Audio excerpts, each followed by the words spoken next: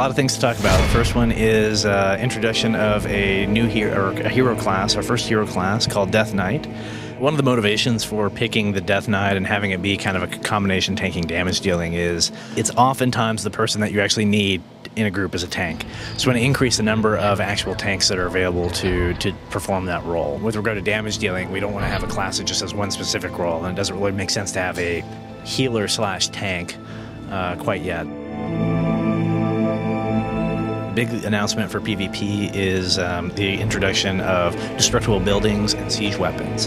And so the idea here is that you'll be able to build and actually uh, control siege weapons to destroy buildings, take objectives, and be successful in PvP. We're also introducing a, an actual zone that is entirely dedicated to PvP, so players can pop over to that zone whenever they want to PvP, engage in an ongoing battle, and then go on with whatever it is that they want to do next.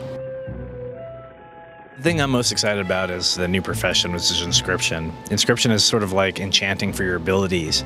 Um, so, you know, you may be able to buy a special item from an inscriptor that is, if you're a rogue, secrets of backstabbing. And you use that item, and that gives you a plus 1 chance to crit. Or maybe you have some kind of book of arcane knowledge that you learn, and then your arcane missile spell as a mage becomes more powerful.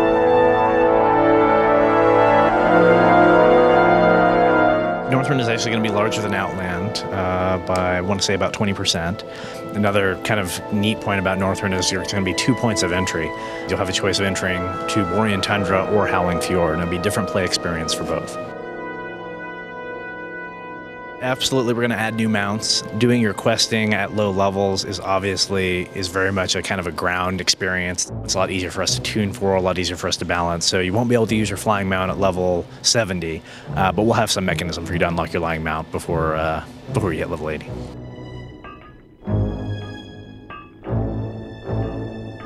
One of another kind of lesson from Burning Crusade is Illidan is the big high-end boss for Burning Crusade, but you really don't see him till the very end.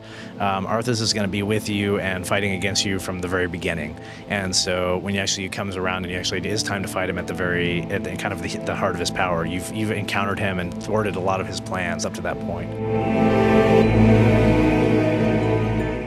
We definitely have ideas for future hero classes, but uh, that'll have to wait for a future future time.